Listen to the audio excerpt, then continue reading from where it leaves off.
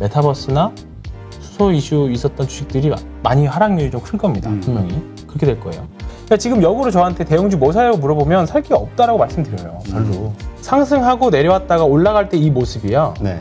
거래량이 터지긴 터졌는데요. 음, 약하다. 거래량이 물량만 쌓여 있는 거래량들입니다.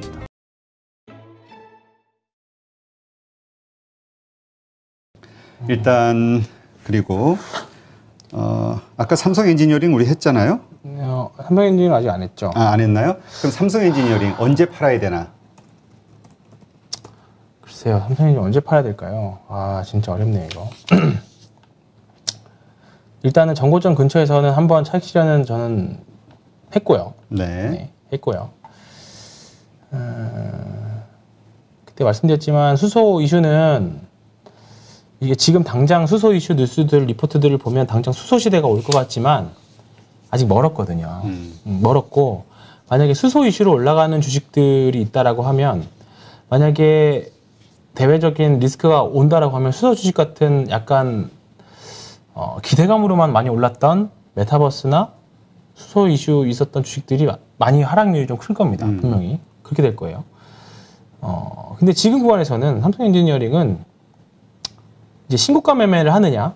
저는 조금 이제 연휴 앞두고 다행히 연휴 전에 주가가 올라서 전고점에서 리스크 관리 차원에서 매도한 거지만 지금 구간에서도 충분히 보유를 해도 나쁘진 않는 구간입니다. 음. 보유를 해도 돼요. 보유를 되는데 보유자분들은 이런 거죠. 그러니까 지금 이제 부- 계속 이제 중국에서 이슈가 나오니까 불안불안하잖아요. 저는 그렇죠. 연휴 때 불안불안하기 싫어서 판 거예요. 이런 혹시나 이런 일이 있을까봐. 만약에 근데 연휴가 지나고 나서 다시 제가 생각했던 그림으로 좀 주식이 내려온다라고 하면 왜냐하면 지금 이틀 연속 거래가 줄어, 줄어, 줄었고 이게 흔히 말하는 고가놀이잖아요. 그렇죠. 네, 고가놀이 한번 띄워놓고 옆으로 횡보하는 거 눌림목 나오는 것보다 옆으로 황보하는 횡보하는 주식 그러니까 우리가 흔히 말하는 고가를 유지시켜주는 주식들이 더 센 주식들이에요. 네. 그러니까 왜냐하면 그 누군가가 계속 밑에서 받쳐서 주식을 사기 때문에 주가 안 빠지는 거고요.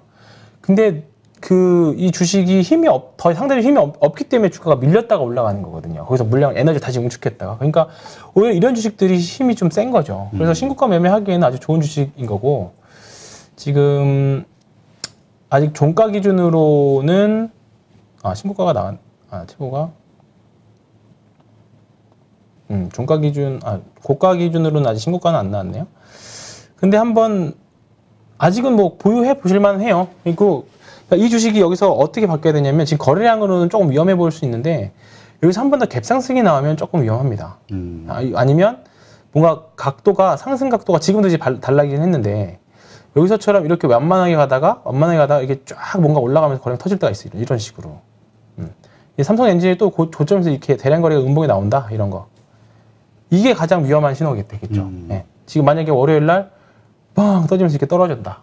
그러면 평단이 얼마든지 간에 절반이라도 빌- 물량을 줄여야 돼요. 음. 또는 갭상승 한 아까 한국전력처럼 5% 이상 상승이 나오면 두 가지 이런 이런 거죠 이런 거. 이거는 각도도 가팔랐고 갭상승이 나왔잖아요. 고점에서의 갭상승은 굉장히 위험해요. 음, 고점에서의 네, 고점에서의 갭상승. 갭상승은 어, 당장 좋아 이게 가- 보유자가 여기서 만약에 이거 여기까지 보였던 분이 이날 아침에 얼마나 좋아했겠어요. 갭상승이 나왔으니까 그리고 나서 쭉 올라갈 수 있는데 만약에 시초가의 갭상승이 7% 8% 이상 나오면 일단 무조건 절반씩 매도를 하고 그 다음에 가야 됩니다. 네, 그 다음에 가고 어, 가는데 여기 이 구간에서는 충분히 꼭 이렇게 나올 수도 있- 시장 상황에 따라서 이렇게 나올 수도 있고요. 아니면 갭상승이 빵 나올 수도 있기는 한데 그게 아니라고 하면 그냥 보유 일단은 보유예요. 예, 보유고 신규 매수도 돼요. 된다고 봐요. 대신에 신규 매수하시는 분들은 어, 당연히 리스크 관리 잘 해야죠. 신고가 부분이기 때문에 여기서 잘못해가지고 물려버리면 만약에 사자마자 사도 돼요. 월요일 아침 시초가에 사, 막 예를 들어서 한 이 정도에 떨어져 시작해가지고 이 정도 샀다가 칩시다. 그러면 여기서 만약에 내가 생각했던 내가 감내할 수 있는 범위를 벗어나면 매도를 하셔야 돼요. 분할 매도라도 하셔야 돼요. 잘못하면 다시 밀릴 수도 있으니까. 그러니까 우리가 생각하는 거는 우리가 생각하는 이상적인 신고가의 조건은 이거 이- 흐름은 이거 이거거든요, 사실. 이렇게 신고가 나오고 편안하게 이렇게 올라가는 거 이걸 사실 기대하지 이렇게 이렇게. 근데 이런 케이스들이 많이 있기는 하지만 이제 만약에 이제 많이 올라온 상태에서 이런 모습이기 때문에 여기서부터는 매일매일 좀 조심은 하셔야죠. 그렇다고 지금 삼성 엔지니어링이 엄청 싼 회사냐? 사실 또 그것도 아니거든요. 그렇죠. 그렇기 때문에 그런 부분 조심하셔야 된다. 근데 일단은 가지고 계신다라면 홀딩도 괜찮고요. 음. 한번 사봐도 될 것 같기는 해요. 음. 예, 되는데 지금 가서 당연히 리스크 관리 굉장히 잘 하셔야 되는 구간이라 좀 어려운 구간이긴 합니다. 그래서 사실 신규보다는 보유자의 관점에서 접근하시는 게 좋고 차라리 양봉이 하나 더 떠서 아예 한 3만 원 이상 넘어가는 랠리가 나오면 그게 좀 낫지 않을까. 그게 더, 좀 편안하지 않을까 싶습니다. 네. 하여튼 지금 고점 부분이니까 음. 잘 대응을 하셔야 될것 같아요. 그렇죠. 지금 추격 매수하기는 좀 그렇고 그렇죠. 네. 가지신 분들의 영역 같다는 생각이 드네요. 그렇습니다. 지금 어, 두산중공업, 두산중공업에 대해서도 몇 분이 좀 이야기하시는데요. 두산중공업도 마찬가지로 원전 이슈라서 네, 완전 이슈라 한전하고 같이 다 움직일 그렇죠, 수도 네. 있겠다 봐야겠네요. 그렇죠, 네. 근데 워낙 많이 올랐어요. 음, 이거네 이거. 어 이게 굉장히 조심해야 되는 주식입니다. 예, 왜냐하면 차트를 봤을 때 봐보세요. 야, 어, 이 주식은 어, 드디어 나왔네요. 제가 말씀드리고 싶었던 주식이 나왔어요. 패턴. 자 보시면 전형적인 매집과 수렴 발산의 전형적인 모습이거든요. 보시면 이 2020년 7월부터 어 이게 본격적인 이 매집이 있었고요. 이 매집도 있었고요. 주가 떨어질 때 뭐 이슈가 있었지만 이거 거래량이 있었지만 거래량이 사실 상대적으로 상당히 적은 부분이기 때문에 조금 이제 수렴 구간에 들어갔죠. 왔다가 이제 주가가 올라가기 시작합니다. 여기서부터.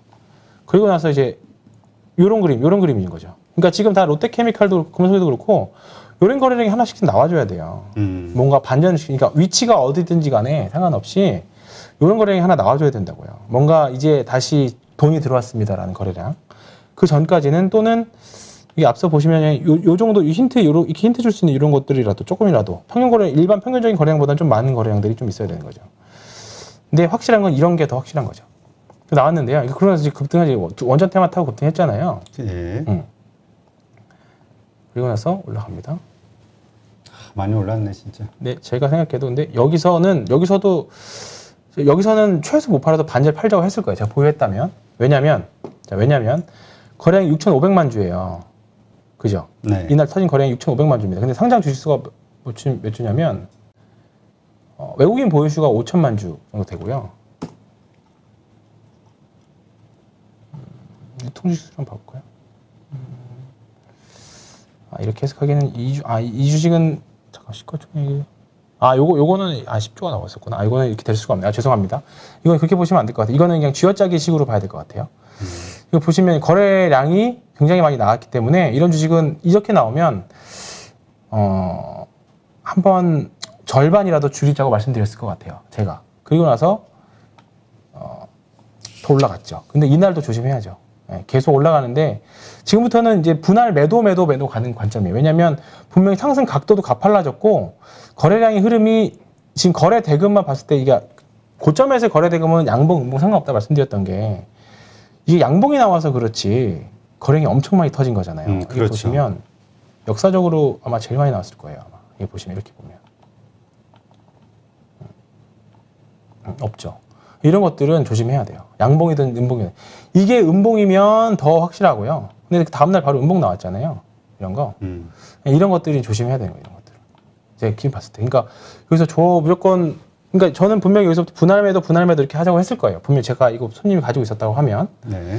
그리고 나서 이제 대량거래 음봉이 실렸잖아요. 다음 날 음, 네, 그렇죠. 실리고 어쩔 수 없이 주가는 이제 조정 나오죠. 이러면 저는 이제 뒤도 안 돌아봐요. 뒤도 안 돌아보고 지금 다시 어느 정도 조정을 받았다 다시 네. 올라갈 구간 아니냐 이렇게 생각할 할수 수도 없다. 있죠. 할 수도 있는데 네. 이제 이슈는 근데 이게 원전하고 정치 테마가 붙어버리면 아, 이게 펀더멘탈이 아니라 아, 펀더멘탈이 아닌 거죠. 그거는 펀더멘탈도 아니고 근데 만약에 원전을 하겠다라고 하면 펀더멘탈 변화가 생긴 거죠. 음, 그러면 뭔가 다시 거래량에서 움직임이 있을 겁니다. 음, 그때 네, 거래량을 네, 다시. 들어가더라도 네, 네. 근데 이거는 저는 원전 관련 주식들은 저도 계속 보고 있기는 해요. 그래서 거래량이 대략적으로 이게 터진 게 몇만 주냐? 한 8,900만 주 되네요. 8,900만 주. 음.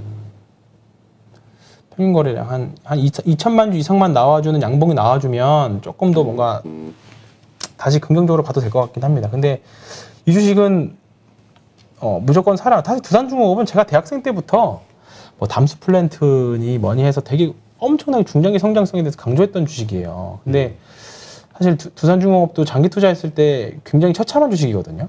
음, 음, 그러네. 보면 예, 없어요. 제가 대학생 때 뭐 한 2000년 중후반, 중반 정도에 투자했다라고 하면 그냥 팔수 팔수 있었을까요? 이때? 저렇게 계속 아마 올라가면 더 어. 올라갈 걸 아? 기대하다가 할 수 있을까요? 그리고 장, 난 이때 되면 이제 난 장투야 이게 하면서 더 큰 수익을 했겠죠. 그러다가 완전히 좀 망해버린 이렇게 된 거죠. 그래서 장투를 굉장히 쉽지 않은 주식이 수산중공업이랑 그다음에 한국전력도 마찬가지죠. 장기 투자 굉장히 좀 별처참한 주식. KT도 장기 투자로 처참한 주식 이런, 이런 것들인 거잖아요. 음, 근데 두산중공업은 일단 지금 구간에서는 보시면 근데 월봉으로 놓고 거래량을 보시면 분명히 느낌은 다릅니다. 음. 네, 이때랑 느낌은 확실히 달라요. 음, 그러네. 네. 그래서 제가 지금 말씀드리는 관점은 단기적인 관점 말씀드렸던 거고, 어, 뭔가 여기서 다시 한번 이거를, 여기서 시나리오를 써보자라고 하면, 이거를 잡아먹는 거래량이 또 나올 수 있어요. 이렇게. 막, 이렇게. 음, 예. 그러려면 분명히 뭔가 이슈를 동반해야 되겠죠. 그러면 그때는 내가 2만 천 원에 봤던 주식이지만 지금, 만약에 이렇게 되면 빵 떠가지고 3만 원이 와- 여기 왔어요. 그러면 그때라도 따라 붙어야 되는 시기가 올 수 있습니다. 음, 왜냐면 주봉이나 주봉만 봐더라도 아 얘는 뭔가 이제 바닥 탈출의 대신호는 나왔어요. 음, 이거 봐보시면 음. 기존에 과거 10년 동안 없었던 거래량들이 나오기 시작했거든요. 주봉 거래량으로. 어, 이거는 뭔가 이거 이렇게 보- 이렇게 이거를 일봉이라고 놓고 생각해 보세요. 이거를 음. 이걸 일봉이라고 놓고 생각해 보시라고요. 전혀 부담이 없죠. 전혀 부담이 없어요. 그러니까 지금 구간에서는 단기적으로는 조금 더 싸게 사야지 싸게 사야지 할 수 있어요. 근데 어, 이제 무조건 이거는 음봉 대량거래 음봉 나왔다 해서 피할 주식은 아니고요. 뭔가 향후의 그 방향성에 따라서 정책 방향성에 따라서 다시 한번 매매를 해볼 수 있는 HMM처럼도 될 수 있는 그런 주식이라고 봅니다. 그래서 일단은 관찰, 관심 종목에 있어야 될 종목입니다. 근데 다만 지금은 매수하기도 좀 애매하고 매도하기도 좀 애매해요. 차라리 매수를 하려면 주가 확 밀려가지고 좀 가격 메리트 한 17,000원대까지 좀 밀려주면 차라리 좀 속편하게 살 것 같긴 합니다. 네. 자, 그다음 대우건설 한번 볼까요? 저도 댓글 창을 좀 보고 싶은데 볼 시간이 없네요. 아니, 대, 너무 많이 지금 대- 그 종목이 계속 올라와가지고 대우건설은 저는 지금 GS건설과 더불어서 같이 좋게 보고 있습니다. 예, 긍정적으로 보고 있고요. 어, 보는 이유는 보시면 아시겠지만 거래량이 물량이 나가는 흔적들이 별로 없어요. 예, 음. 여기 딱 기준이 되는 거래량이 딱 이렇게 있고요. 그리고 군데군데 계속 나오잖아요. 군데군데, 군데군데, 군데 이렇게 나오고 주가만 밀렸는데 주가가 딱 올라가는 시점, 그러니까 대형주가 쉬는 시점이 딱 들어가니까 그냥 거량 말라버리면서 쉬는 구간인 거잖아요. 그냥 그동안 올랐던 거에 대한 수렴 구간 정도인 것 같고요. 어, 구간인 것 같고, 그 다음에 어차피 건설주들은 중장기적으로는 그렇게 저는 썩 좋아 보이진 않는데, 어쨌든 내년까지는 대선 주자들은 결국은 공급에 대한 얘기를 할 거예요. 그래서 GS건설, 대우건설, 대림도 그렇고, 대림 계열사도 그렇고, 일단 건설주들은 일단은 저는 해볼 만 하다라고 봅니다. 이건 사실 중소형 건설사들 보면 일성건설을 한번 봐볼제 생각이 예, 이런 것들. 그 다음에 뭐 있었죠? 건설사가 생각이 지금 안 나는데. 이테크 건설? 이건 좀 다르긴 하지만. 아유, 어, 네. 어쨌든 지금 대우건설하고 큰 주식 중에 대우건설, GS건설은 어, 대우건설보다 조금 더 좋아 보이는 거는 당연히 GS건설이기 때문에 이제 말씀드렸던 거고요. 이거는 좀 다르죠. 이런 것들이 나왔잖아요. 예. 횡보하는 구간에서 밀렸지만 거래량은 없었고 돌파하는 모습이 나왔죠. 그죠? 음. 그러니까 또 말씀드리지만 앞에서 말씀드렸던 하나 솔루션, 뭐 금호석유, 그다음에 뭐 롯데케미칼 이런 것들은 실적 다 좋은 건 아는 뭐 앞으로 좋고 뭐 수소 롯데케미칼은 수소 이슈도 좀 붙어 있고 뭐 하긴 하는데 그러기에 비해서는 아직은 거래량으로 봤을 때는 좀 너무 미미하다는 거죠 사기에는. 음. 근데 GS건설 이런 것들 보시면 확실히 거래량이 터지고 나서의 모습이 다르잖아요 대형주들은 이런 모습이 좀 나와줘야 돼요. 그러니까 빵 뜨고 쉬지만 다시 이 수급이 이어가는 이차 후속 수급이 나와주면 좀 이게 달라지는 거죠. 삼성 엔지니어링도 이렇게 있다가 이거 나오고 나서 이거 나오고 나서 이렇게 빵 뜬 거잖아요. 이 수수료 붙으면서. 근데 만약에 GS건설이나 대우건설도 대건설도 얘들 이제 좀 빵 이렇게 나온다고 치면 나 이렇게 나온다고 치면 만약에 뭐 공급에 대한 이야기들이 나오고 또는 네. 플랜트들이 생각보다 이제 유가가 많이 올라가서 다시 수주가 또 나온다. 생각보다 원래 있었던 해외 쪽에서. 그러면 또 얘기가 달라질 수 있- 있는 시나리오를 써볼 수 있는 거죠. 건설주들은. 그래서 일단은 건설주는 아주 장기적으로는 솔직히 잘 모르겠어요. 예, 장투, 한 10년 장투할 종목은 아니라고 봐요. 지금 구간에서는. 근데, 음, 일단은 한 1년 정도 내외에서는 분명히 해볼 만한 구간들이 앞으로 나올 거라고 생각합니다. 네. 알겠습니다. 자, 천보, 에코프로비엠. 이거 같이 한번 볼까요?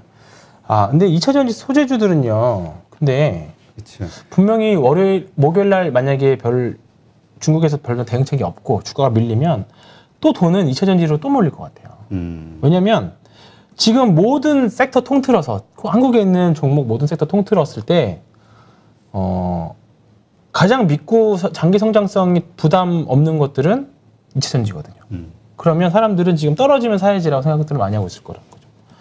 천보도 보면 많이 올랐어요. 2차 전지주들이. 네, 올랐죠? 소재주들. 처음 보시면 이딱 있잖아요. 딱 세 번 땅 땅땅 잡고 횡보하다가 빵 시세 주는 거예요. 이 구간이 진짜 지겹죠. 이 구간. 음. 이 구간 지겹죠. 단기 매매 하시는 분들은 이 구간에서 이제 이제 상승 탄력 따먹기 하는 거예요. 따먹기라는 표현이 좀 그런데 이 구간에서 trading 하시는 거고요.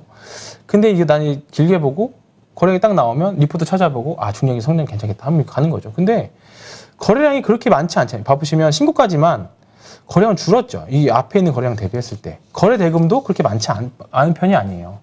그렇기 때문에 거래량은 줄고 있고 거래 대금도 그냥 일정 부분 용납할 수 이 이 정도 거래 대금은 그냥 주가가 올랐기 때문에 거래 대금이 늘어난 정도예요. 근데 거래량이 많이 줄었기 때문에 거래 줄고 있잖아요. 그렇기 때문에 이런 주식들은 만약에 떨어지면 아마 또 사려고 대기하시는 분들 많이 있을 거예요. 이것도 그렇고 에코프로비엠도 일단 수급 심리가 쏠려 있기 때문에. 그렇죠. 지금은 이제전지 섹터들 모든 섹터들은 떨어지면 사야지라는 심리가 기본적으로 갇혀 있어요. 그리고 이거만큼 믿을 수 있는 게 어디 있어가 되는 거죠 지금.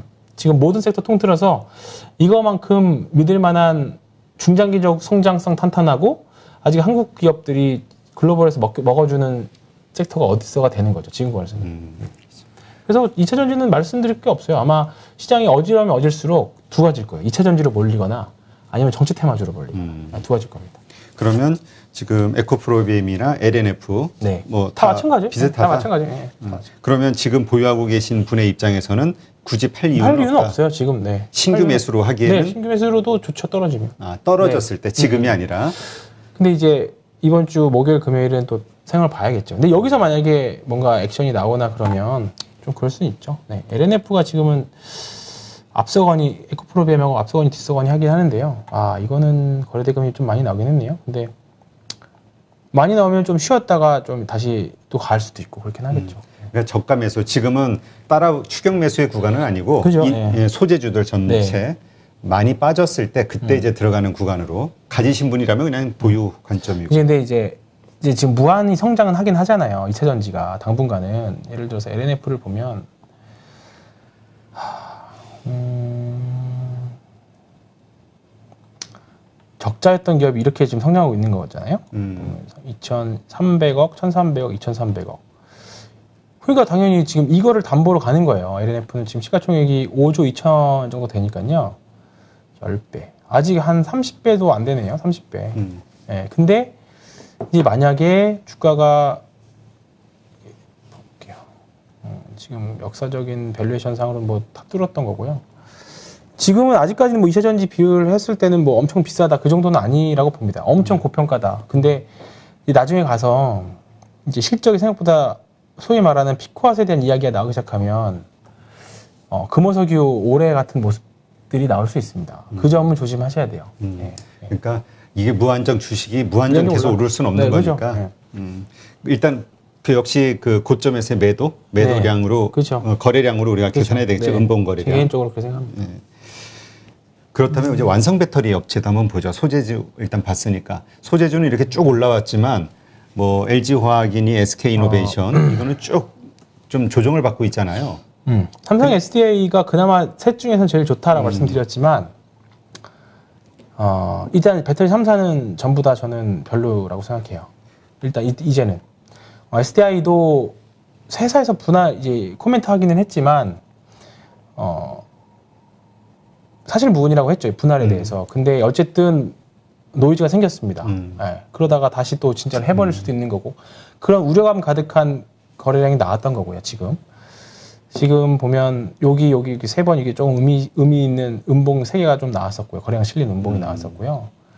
그다음에 SK 이노베이션도 마찬가지로 이거 이후에 맥- 맥을 못 추잖아요. 그렇죠. 네, 이거 이후에 맥을 못 추고 있습니다. 그리고 이제 추세선 밑으로 내려가 있기 때문에 뭐 여기가 바닥이라고 말씀하실 수도 있지만 바닥이 아닐 수도 있습니다. 음. 네, 그렇게 말씀하시면 알 수는 없지. 네, 알 수는 없는. 거예요.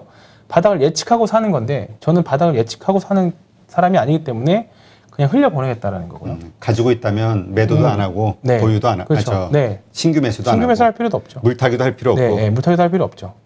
LG 화학도 LG 화학도 마찬가지죠. 네, 여기서 이게 의미 있는 게 나왔었고 여기서 이게 한 번 더 나왔었죠. 그러니까 이평선을 뚫고 내려와 버리는 그러니까 관통해 버리는 음봉이나 양봉들이 있어요. 저는 사실 단기 매매할 때 이걸 굉장히 좋아하거든요. 음, 이게 20선이든 60선이든지 간에 그날 관통해 버리는 그 것들이 좀 있어요. 잠깐만 사례를 제가 찾아볼까요? 그거는 굉장히 좋아요. 그거는 그거는 굉장히 좋은데 음, 일단은 그건 좀 하고요.